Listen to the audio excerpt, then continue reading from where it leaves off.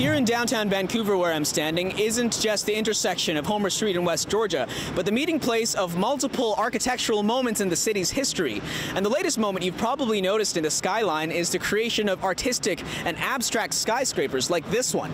Well, it's definitely a moment, because architecture always is about the moment. Gordon Price has lived and worked in Vancouver for half a century, and he says the advancement of technology has made such bold designs possible. Buildings like the Sydney Opera House, they use technologies in ways that made buildings physically possible to do in ways that were really unimaginable in the past. In fact, on this intersection here, you can see four decades of different architecture. Over there, transforming itself from a post office in the 1950s, big, clunky, federal style post office, home for Amazon now. Here in the 90s, the city built in what's called the postmodern style. Uh, the library, right over there, good old generic style office building, one from probably the 70s and the 80s. And here, ta-da, I guess it's the 2020s.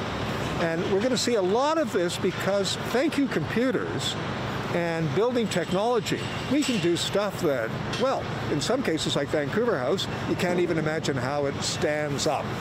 Uh, and people love that stuff. In Vancouver's West End, there's the award-winning Cardero Tower with its V-shaped steel shades, providing privacy and protection from the sun. Or how about this huge Squamish First Nation residential development, beginning construction this year by the Burrard Street Bridge? All visually engaging structures, but not strictly a Vancouver trend. It's not unique to Vancouver. You know, some might call this, I don't know, uh, Dubai on the Pacific. You know what Vancouver is really good at? It's not doing the completely new thing, being a leader. We really are good, though, at taking what's happening elsewhere and adapting it for our circumstances. I mean, is it a misnomer to say that the building of these luxury buildings in Vancouver is contributing to unaffordability, or is there some truth to that? Uh, and the answer is yes, and it always has. Problem is, if you're not building enough that's new, by the time you get to the point where more people have arrived and you need more housing or office space, then you've induced scarcity, and it's scarcity that will drive up the price.